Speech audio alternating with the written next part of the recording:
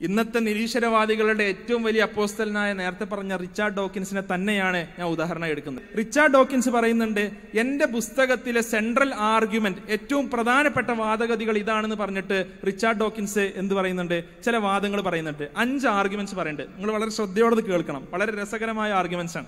Richard Dawkins പുസ്തകത്തിൽ എഴുതിയത് അതേപോലെ നിങ്ങൾക്ക് സ്ക്രീനിൽ കാണുവാൻ സാധിക്കും. ഒന്നാമത്തെ ഡോക്കിൻസിന്റെ വാചകം അതേപോലെ വായിക്കാം. One of the greatest challenges to the human intellect has been to explain how complex improbable appearance of design in the universe arise മനുഷ്യ മസ്തിഷ്കത്തിന്റെ ഏറ്റവും സുപ്രധാനമായ വെല്ലുവിളി എന്താണെന്നാണ് ഡോക്കിൻസ് പറയുന്നത്? How the complex improbable appearance of design in the universe arise എങ്ങനെയാണ് ഇത്രത്തോളം complex ആയിട്ടുള്ള ഇംപ്രോബിൾ ആയിട്ടുള്ള ഡിസൈൻ ഈ ലോകത്തിനുണ്ടായത് എന്നതാണ്. രണ്ടാമത്തെ ആർഗ്യുമെന്റ് ഡോക്കിൻസ് ആർഗ്യുമെന്റ് ഇങ്ങനെ വന്ന് ദൈവമില്ല എന്ന് പ്രൂവ് ചെയ്യുന്ന ആർഗ്യുമെന്റ്സിന്റെ വഴികളാണ് പറയുന്നത്. രണ്ടാമത്തെ ഡോക്കിൻസിന്റെ argument the natural temptation is to attribute the appearance of design to actual design actual design self അതായത് ഏഹ്, ഇങ്ങനെയൊക്കെ നമ്മൾ ഇതൊക്കെ കാണുമ്പോൾ നമ്മുടെ മനസ്സിന്റെ ഞാൻ നേരത്തെ പറഞ്ഞ ഫിത്രത്ത് ഉണ്ടല്ലോ. അതൊരു ബേസിക് ഇൻസ്റ്റിങ് എന്താണ്? ബേസിക് ടെംപ്റ്റേഷൻ എന്താണ്? ഇതിനൊക്കെ ഒരു ഡിസൈനർ ഉണ്ട്. എന്താ ഈ ഡിസൈൻ ഇങ്ങനെ തനിയെ വന്നതല്ല എന്ന് വിശ്വസിക്കലാണെന്ത്? അതിനൊരു ടെംപ്റ്റേഷൻ മൂന്നാമത്തെ argument the temptation is a false one because the designer hypothesis immediately arises the larger problem of who design the designer ഇങ്ങനെ ഒരു ദൈവമുണ്ട് എന്ന് നമുക്ക് തോന്നാമെങ്കിലും അത് ശരിയല്ല. കാരണം എന്താ? അങ്ങനെയാണെങ്കിൽ അത് അതിലും വലിയൊരു ചോദ്യത്തിലെത്തും. എന്ത്? അങ്ങനെയാണെങ്കിൽ ദൈവത്തെ ആരാണ് ഡിസൈൻ ചെയ്തത് എന്ന ചോദ്യത്തിലെത്തും. ഇതാണ് ഡോക്കിൻസിന്റെ മൂന്നാമത്തെ ആർഗ്യുമെന്റ് വലിയൊരു ചോദ്യമാണ്. നമുക്ക് വേണമെങ്കിൽ പിന്നെ അഡ്രസ് ചെയ്യാം ഇൻഷാല്ല നാലാമത്തെ argument the most Genius and powerful explanation is Darwinian evolution by natural selection and we don't have an explanation for physics അതായത് ബയോളജിയിൽ നമുക്ക് നല്ലൊരു എക്സ്പ്ലനേഷൻ ഉണ്ട്. എന്ത് ഡാർവീനിയൻ എവല്യൂഷൻ എന്താണ്?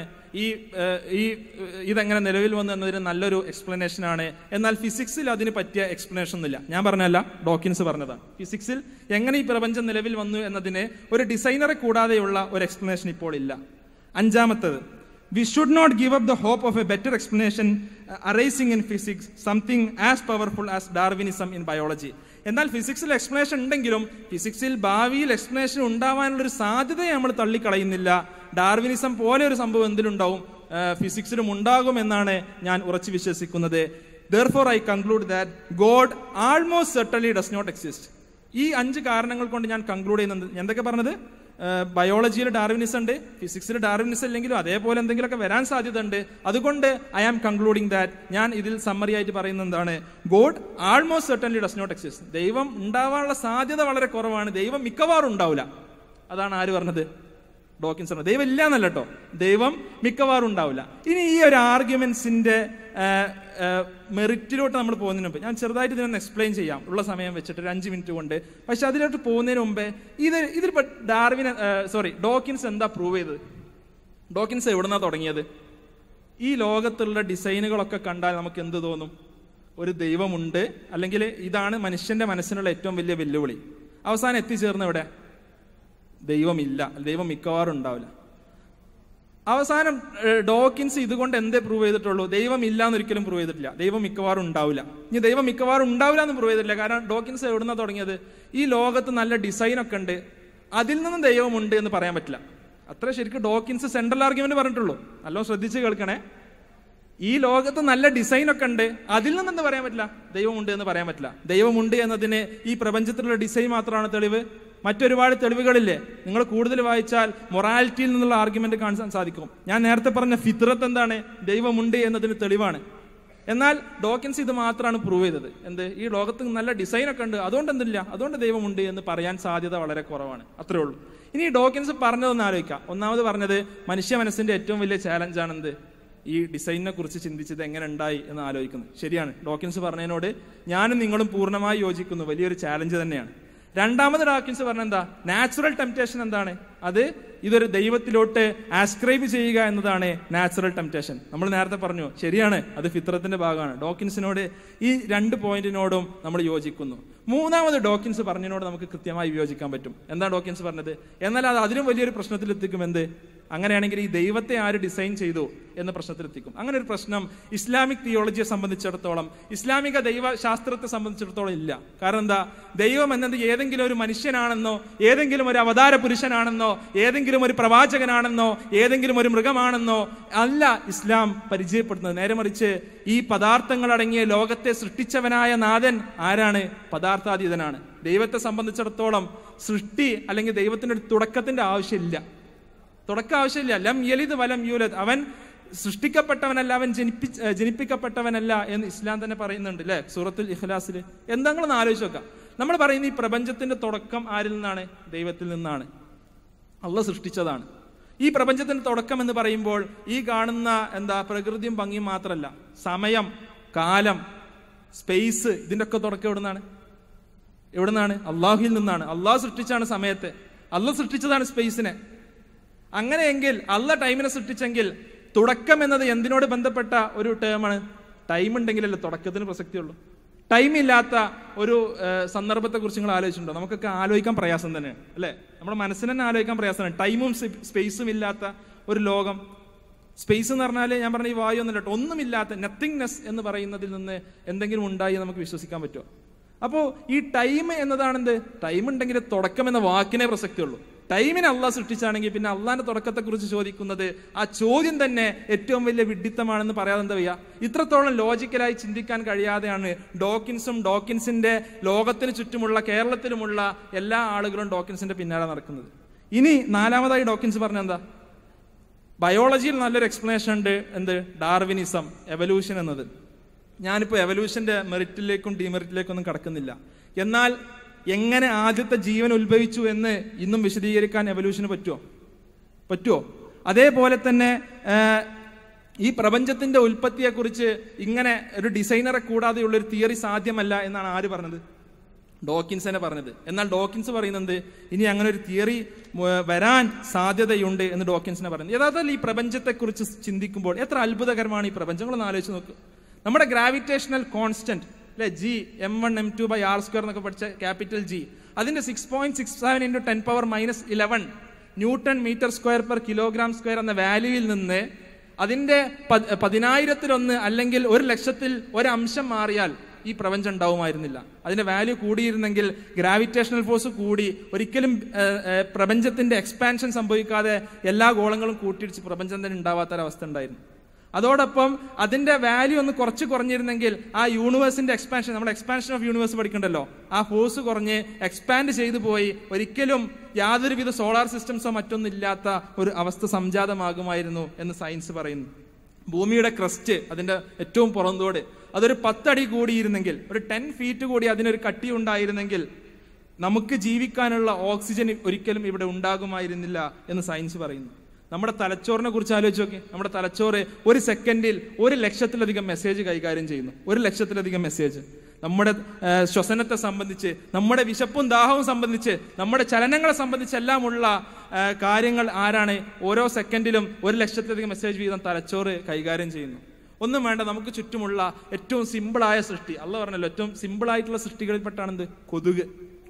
നിങ്ങളൊന്ന് ആലോചിച്ചൊക്കെ നമ്മൾ പലപ്പോഴും നമുക്ക് ചുറ്റുമുള്ള കാര്യങ്ങളെക്കുറിച്ച് ചിന്തിക്കുന്നതിൽ ചില എന്താ പറയുക മടി കാണിക്കാറുണ്ട്. കൊതുക് രാത്രി എങ്ങനെയാണ് ചോര കുടിക്കുന്നത് നിങ്ങൾ ആലോചിച്ചിട്ടുണ്ടോ? നമുക്ക് തന്നെ രാത്രിയായ കണ്ണു കാണൂല.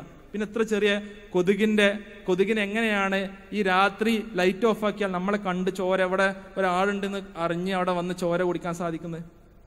ചിന്തിച്ചിട്ടുണ്ടോ? അത് കണ്ണുണ്ടിട്ടല്ല. കണ്ടിട്ടല്ല. നേരെ എങ്ങനെയാണ്?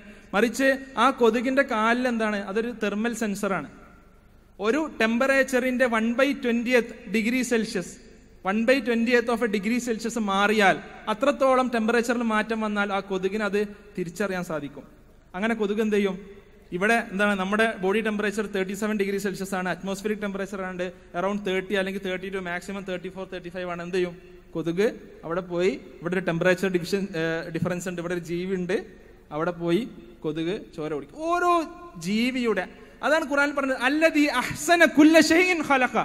എല്ലാ സൃഷ്ടിപ്പിലും അതിന്റെ ഏറ്റവും ഉത്തമമായി ഏറ്റവും പെർഫെക്റ്റ് ആയി സൃഷ്ടിച്ചവനായ റബ്ബ് സൃഷ്ടാവ് ഒന്ന് ആലോചിച്ചു അല്ലെ? ഒരു കൊതുകിന് പോലും അവന് അതിന് അന്നം നേടാൻ വേണ്ടത എല്ലാം സൃഷ്ടിച്ച ആ സൃഷ്ടാവ് ഇനി ഈ പറഞ്ഞ ഡോക്കിൻസിന്റെയും മറ്റുമൊക്കെ ആ ഒരു ശാസ്ത്രത്തിലുള്ള അറിവ് കാണാൻ വേണ്ടി ഞാനൊരു ചെറിയ വീഡിയോ പ്ലേ ചെയ്യുന്നുണ്ട്. ആ വീഡിയോ ഒന്ന് നിങ്ങൾ കാണുക. ഡോക്കിൻസും ഒരു ഒരു പുരോഹിതനും തമ്മിലുള്ള ഒരു ചർച്ചയാണ് വീഡിയോയിലുള്ളത് Physicists are still working on the origin of the cosmos. Among them is Lawrence Krauss, whom I, whom I shall be talking to uh, next week. Now, it is very mysterious how the universe came into being. It's a deeply mysterious and interesting question. And, and can I just interrupt? It's an old question, a very old question. Thomas Aquinas in the 13th century was asking this same question. He said there must have been a time when no physical things existed, but something can't come from nothing. That was his view. It's just Well, been repeated by us. Something can come from nothing, and that's what physicists are now, are now telling us. Um, I could give you, you asked me to give you a, a layman's interpretation. It would be a very, very layman's interpretation. Um, when you have um, matter and antimatter and you put them together, um, they cancel each other out and give rise to, to nothing. അതായത് എങ്ങനെയാണ് ഒന്നുമില്ലായ്മയിൽ how can something come from nothing ഇതാണ് ചോദ്യം വളരെ ബുദ്ധിമുട്ടുള്ള ചോദ്യം ഒന്നുമില്ലായ്മയിൽ എങ്ങനെ ഉണ്ടാവും ഒന്നുമില്ലായ്മ പറഞ്ഞാൽ ഈ പറയുന്ന വാക്വം സ്പേസ് ഒന്നല്ല കേട്ടോ ഇതൊന്നല്ല യഥാർത്ഥമായ ഒന്നുമില്ലായ്മ അതിൽ നിന്ന് എങ്ങനെ ഉണ്ടാവുക? ഇതാണ് ഡോക്കിൻസ് ഉത്തരം പറഞ്ഞത് രണ്ട് എന്താണ്? മാറ്ററും ആന്റി മാറ്ററും കൂടി ചേർന്നാൽ അത് നത്തിങ് ആയി മാറും. യഥാർത്ഥത്തിൽ ശാസ്ത്രത്തിലുള്ള ഏറ്റവും ബേസിക് കൺസെപ്റ്റ് പോലും ഡോക്കിൻസിന് അറിയില്ല എന്ന് തെളിയിക്കുന്നത്. മാറ്ററും ആന്റി മാറ്ററും കൂടി ചേർന്നാൽ ഒരിക്കലും നത്തിങ് അല്ലാവാ നിങ്ങൾ അനിഹിലേഷൻ എന്നൊക്കെ പറഞ്ഞാൽ ചിലപ്പോൾ ഫിസിക്സിൽ പഠിച്ചിട്ടുണ്ടാവും. അത് എനർജി ആയി മാറും. മാറ്ററും ആന്റി മാറ്ററും കൂടി ചേർന്നാൽ എനർജി ആയി മാറും. ആ എനർജിയിൽ നിന്ന് മാറ്ററും ആന്റി മാറ്ററും ഉണ്ടാകുന്നതിനെ പെയർ പ്രൊഡക്ഷൻ എന്നും സയൻസിൽ വിളിക്കും. ഒന്നാമത് അത്രയും ബേസിക് ആയ വിവരങ്ങൾ പോലും ആർക്കില്ല. ഡോക്കിൻസിനില്ല ബാക്കി കാണാം.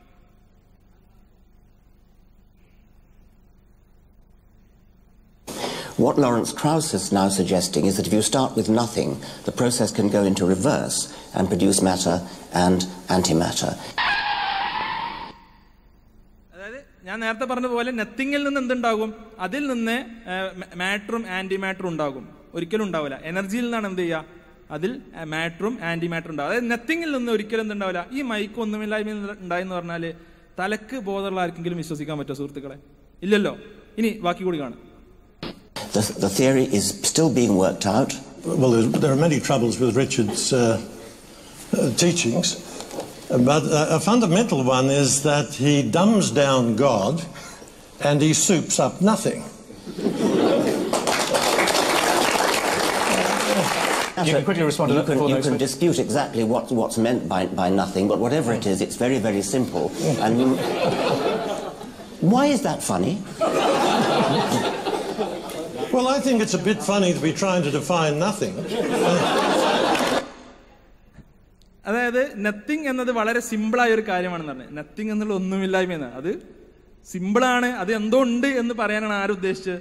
ഡോക്കിൻസ് ഉദ്ദേശിച്ചത്. അതായത് നത്തിങ്ങിനെ ഡിഫൈൻ ചെയ്യാൻ ശ്രമിക്കുന്നു എന്ന് പറഞ്ഞിട്ടാണ് അവിടെ ഡോക്കിൻസ് യഥാർത്ഥത്തിൽ ആ ഒരു വേദിയിൽ ശരിക്ക് ഒരു പുരോഹിതനാൽ തന്നെ അദ്ദേഹം പരിഹാസ്യനായി മാറിയത്.